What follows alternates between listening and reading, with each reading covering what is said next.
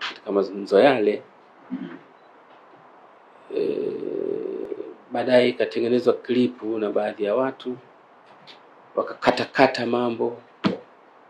Wakawasilisha ujumbe nusu. Ujumbe nusu ule umesababisha mjadala mkubwa katika nchi yetu, ambao mjadala ule umesababisha usumbufu wa hapa na pale. Kwa leo tukutane pamoja na mambo mengine e, niweke sawa jambo hilo lilivyokuwa e, na mwenye nia za, zaidi ya hapo ninyi waandishi ni wafuatiliaji wazuri, mweka spika kuwa ndo mtoa lawama namba moja. Wakati mwingine akutuka naye hakuchagulii tusi.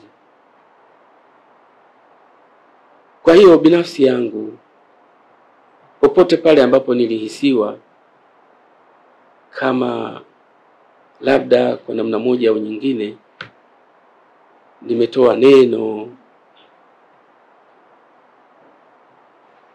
la kumvunja moyo rais wetu na akavunjika moyo, nitumie fursa hii kupitia kwenu kumwomba radhi sana Mheshimiwa Rais na kwa Watanzania wote